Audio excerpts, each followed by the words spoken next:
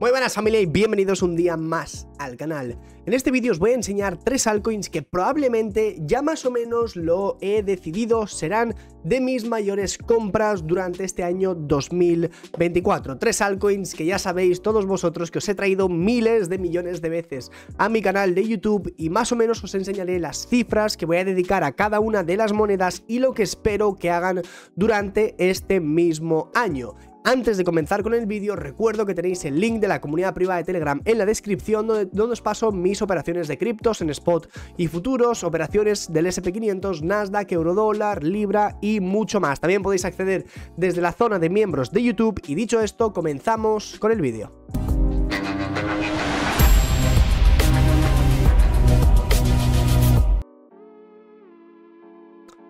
En primer lugar, y la más importante de todas, es Chainlink. Para los que no lo sepáis, os he traído vídeos link desde que estaba acumulando en 5, 6, 7 dólares. En estos momentos nos encontramos en 19,2 dólares. Tiene un market cap de 11 mil millones de dólares y el volumen las últimas 24 horas ha llegado a la zona de mil millones de dólares. Y la verdad que está siendo una completa locura. Desde esos vídeos en 6, 7 dólares aproximadamente ya llevamos un por 3 en spot. La verdad que Link ni mucho menos está siendo la mejor altcoin de este último ciclo del mercado, pero sí que es cierto que los fundamentales que tiene son buenísimos. Si tenéis paciencia con esta altcoin, yo al menos pienso que de cara al futuro va a pagar y muy bien.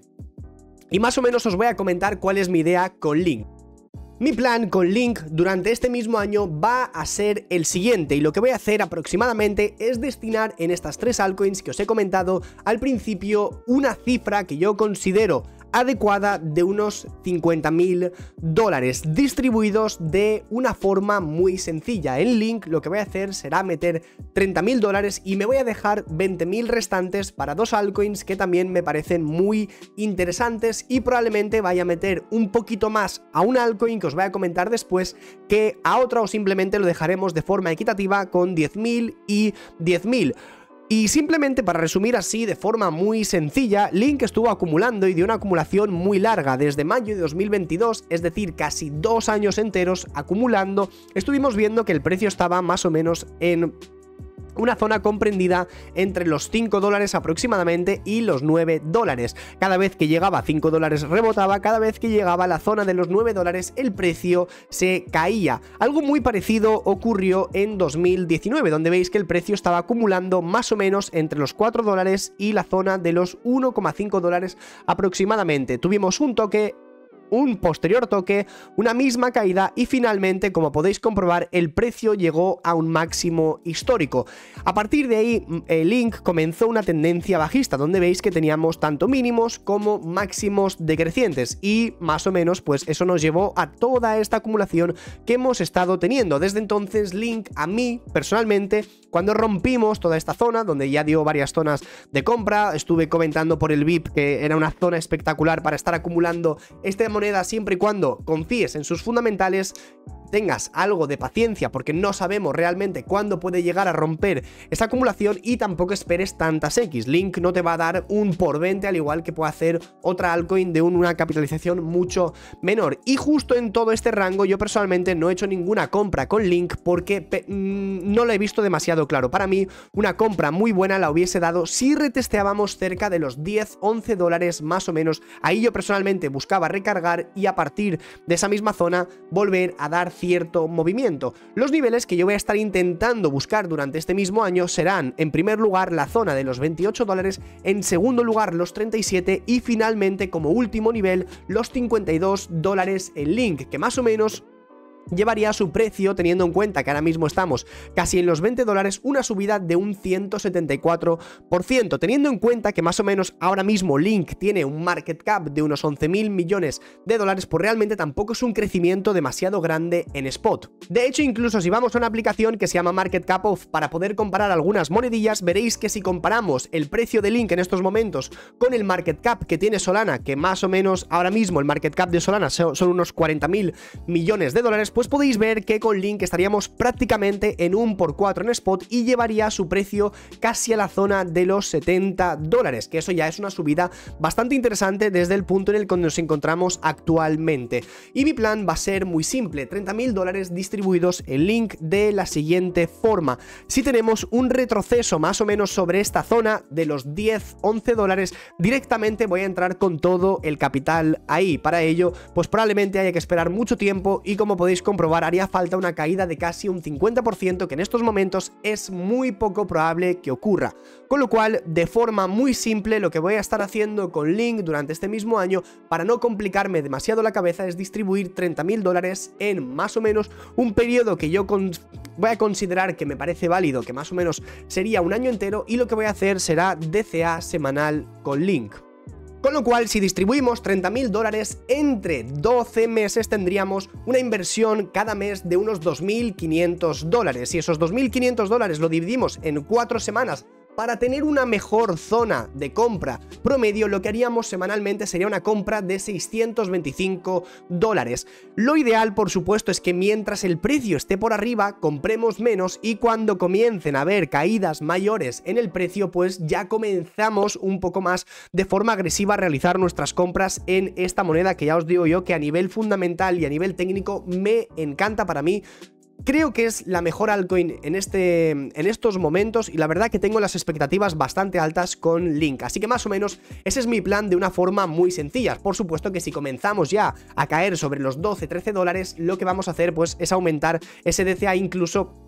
Habrán semanas que en lugar de hacer una compra, pues haré un par de compritas. Lo ideal ahora, esos 625 dólares, sería rebajarlos también un poco y hacer compras más pequeñas de unos 300, 400 dólares para resguardar cierta liquidez un poco más adelante. Ya os digo que mi idea es vender en este máximo histórico de los 51 dólares, con lo cual pues más o menos busco en spot un rendimiento aproximado de un por 2, un por 3.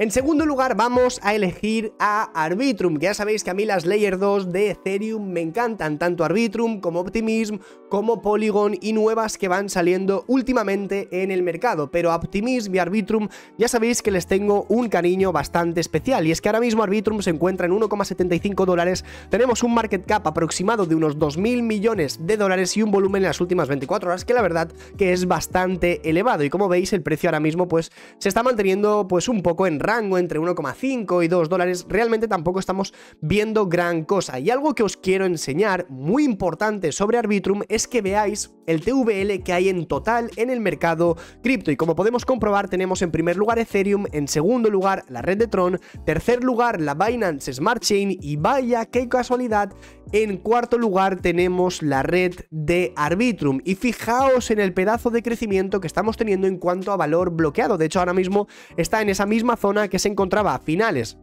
de 2021 en máximos históricos de TVL cuando aún no existía la moneda de Arbitrum, simplemente existía el ecosistema.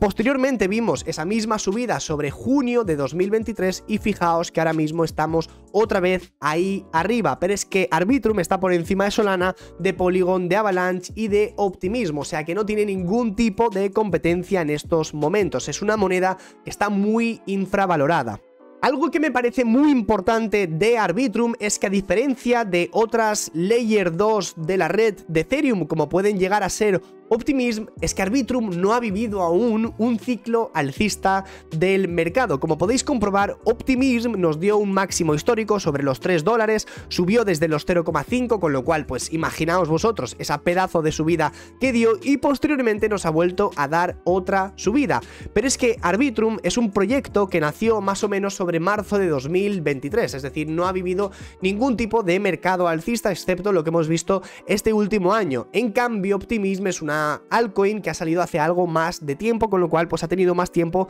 para estar jugando en el mercado. Y es que algo que me gusta de Optimism es que realmente no podemos llegar a saber hasta dónde puede llegar esta moneda porque fijaos vosotros en el histórico, esto pues simplemente fue una mecha que dejó en KuCoin, nada más salió el proyecto, pero estamos hablando de un proyecto que tiene 2.000 millones de capitalización de mercado. Si comparamos el proyecto de Arbitrum ahora mismo, que es muchísimo mejor que el proyecto de Matic, ambos son Layer 2 de Ethereum, más o menos para que veáis un poco hasta dónde podríamos llegar y cuántas X se puede hacer Arbitrum a partir de esta misma zona, estaríamos hablando de más de un por 3 en spot. Estaríamos hablando y fijaos un poco en la comparación de ese market cap, 2.000 millones frente a 7.000 millones que tiene ahora mismo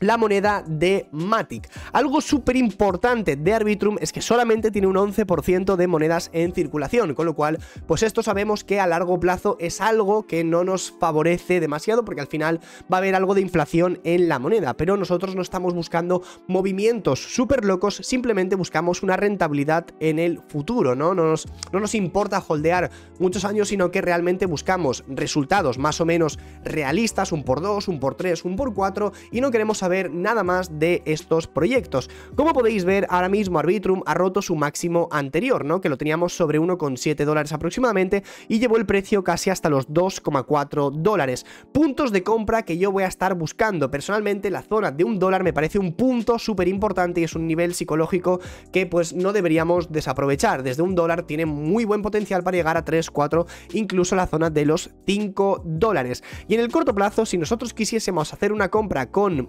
Em, Arbitrum y en este caso pues no podemos conseguir demasiados descuentos, pues yo personalmente me esperaría, sería un poco paciente porque la zona de los 1,3, 1,4 dólares aproximadamente puede ser un nivel muy bueno. Y para Arbitrum lo que vamos a hacer será destinar aproximadamente unos 10.000 dólares o incluso un poco más y lo quitaremos de nuestra tercera moneda, con lo cual más o menos en Arbitrum buscaríamos pues eso, un por 2, un por 3 fácil en spot. Y en último lugar, pero no menos importante, tenemos a Polkadot, que ahora mismo se encuentra sobre la zona de los 6,8 dólares aproximadamente y podéis ver que su market cap son unos 8.000 millones, casi 9.000 millones de dólares. Tenemos un volumen en las últimas 24 horas que ha crecido bastante, estamos hablando de 160 millones, pero hemos visto estas últimas semanas como casi llega a esos 500, incluso los 1.000 millones en volumen, con lo cual pues esto ahora mismo es una risa bastante grande. Podéis ver que el supply en circulación es 1,3 mil millones de monedas frente al supply total que son 1.400 millones de monedas. Polkadot no tiene un supply como otras monedas, sino que cada año se van liberando un 10% en circulación, todo esto para poder pagar a la gente que realiza staking, para poder asegurar la red, bueno, para un sinfín de cosas. No es como por ejemplo Cardano, que sí que tiene un suministro limitado y una vez se acabe ese suministro ya no tendrá inflación. Y esto es algo que a Polkadot, por supuesto, que todas las personas saben que le está afectando en estos mismos instantes. Polkadot, de hecho, si nos fijamos en una temporalidad diaria, una temporalidad semanal, incluso veréis que tengo una auténtica barbaridad de dibujos en la pantalla y esto pues es desde que hemos estado haciendo muchísimo contenido en el canal, pues al final lo que produce es que se me ha quedado esto como si fuese un patio de colegio. Con Polkadot también vamos a destinar aproximadamente unos 10.000 dólares para esta única moneda, un poco más. Vamos a intentar dejar la moneda un poco más a largo plazo y lo ideal más o menos sería comprar cerca de la zona de los 4 dólares, 5 dólares. Por lo general, las altcoins que peor desempeño han tenido durante este ciclo de mercado, pues muy probablemente vayan a intentar, antes de que el mercado nos vuelva a dar una subida,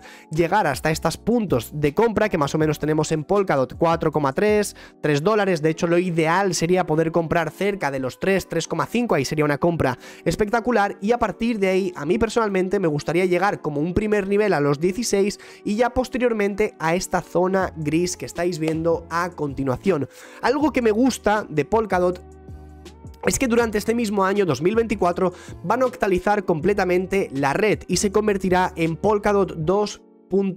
que esto ya lo hemos comentado también en una gran ocasión de vídeos y personalmente no lo quiero repetir demasiado, pero para los que no sepáis de qué estoy hablando, simplemente va a haber un modelo de negocio completamente distinto, ya no van a existir las subastas de parachains de Polkadot, sino que se van a alquilar de otra forma muy distinta, con lo cual pues es muy posible que vaya a aumentar esa demanda en Polkadot y que al menos el precio durante este próximo ciclo no esté tan castigado, pero como podéis ver en estos momentos pues es una moneda que lo está pasando realmente mal, pero no por ello vamos a descartarla, ¿no? Al menos yo personalmente pienso que durante este mismo año también nos va a volver a dar ciertas subidas interesantes y al menos pienso que llegará a esa zona de los 16 dólares, con lo cual pues más o menos si conseguimos de nuevo una compra sobre los 4 dólares, 5 dólares más o menos, pues lo ideal sería llegar hasta aquí y hacernos al menos un más 260%, pero a mí ya os digo que personalmente me gustaría que en el medio plazo llegásemos cerca de los 30-40 dólares, con lo cual pues más o menos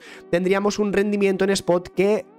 Vamos a decir que oscilará entre un 600% y casi un 800% de subida en spot. Así que para resumir de forma muy breve, Link va a ser la principal, al menos para mí es un proyecto que me gusta mucho, me parece muy interesante y lo que voy a hacer simplemente va a ser un poco de DCA mientras más baje, más voy a estar comprando, lo ideal por supuesto sería que llegase los 10-11 dólares para comenzar a meterle mucho más fuerte, en segundo lugar tendríamos Arbitrum que en estos momentos no ha vivido un ciclo alcista del mercado, con lo cual puede llegar a ser muy interesante tener esta Layer 2 de Ethereum que ahora mismo ya estáis viendo que lo está petando, pero es que no, no tiene yo creo creo que a día de hoy competencia, la única pues así de cerca puede ser Optimism y en tercer lugar Polkadot puede resultar muy interesante este próximo año 2024 con todos los cambios que nos puede llegar a traer a pesar de que sé que es de las más bajistas que existe actualmente. Así que chicos, sin más dilación, espero que os haya gustado muchísimo este vídeo. Si os ha gustado recuerdo que le deis un buen like y nos vemos a la próxima.